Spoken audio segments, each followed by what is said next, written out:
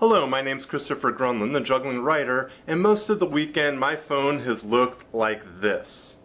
Off. This weekend I decided no phone, no email, nothing. Total disconnect. When I took the social media break last year, very early into the experiment, I felt a bit of a withdrawal and I figured I'd feel that way with total disconnect, but I didn't.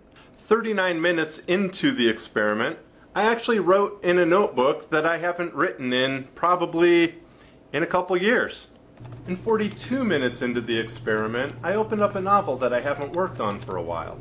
But don't think that that means that this was all a perfect experiment. Two hours and 10 minutes into it, I did drink a beer, turn on the TV, and I watched Troll Hunter.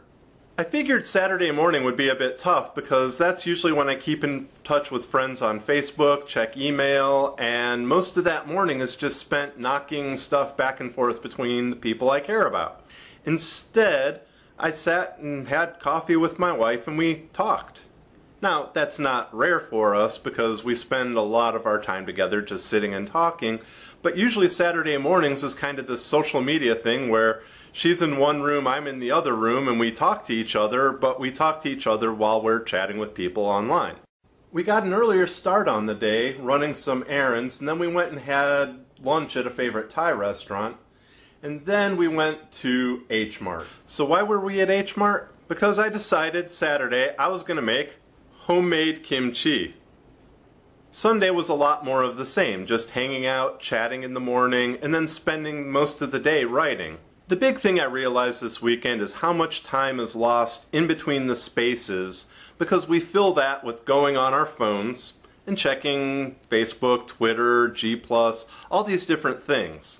I mentioned that Saturday morning we ran some errands. We went to go get my wife a couple more pairs of jeans, and while she was trying things on, normally I'd be on my phone checking Facebook, whatever, but I kept my phone in my pocket and I just stood there and I thought for the first time in a while, I didn't distract myself in between those spaces, and I started thinking about the writing I had been doing the day before, and how the scene that had been giving me trouble each time I open the file finally came together because I had no choice but to think about it. I couldn't go anywhere for a distraction.